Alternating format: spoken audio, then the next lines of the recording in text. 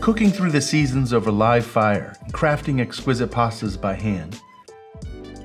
Andiario has been one of Pennsylvania's most compelling locavore dinner havens since 2018. And it's on my list of top 10 restaurants in the Philadelphia region right now.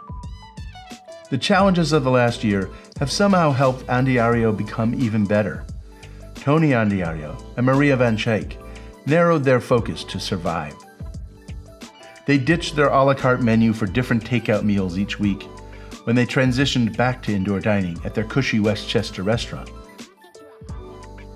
They embraced an evolving tasting menu format that every week revealed new surprises and rose to new heights on that spontaneous spirit.